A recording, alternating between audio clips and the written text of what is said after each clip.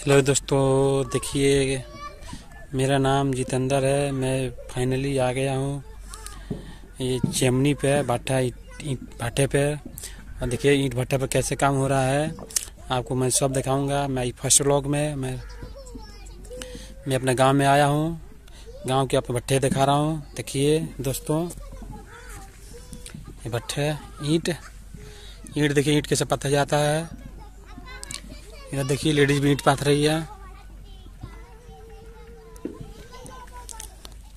देखिए, ईट। ईट है, कच्चा ईट है। पक्का ईंट है। देखिए, आपको ईट दिखा रहा हूँ उधर। कितनी बारीकी से ईट पटाया जा रहा है, देखिए।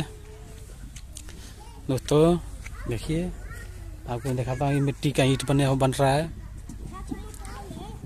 खेत है, इधर पीछे खेत है। बच्चे खेल रहे हैं। इधर बच्चे खेल रहे हैं। देखिए।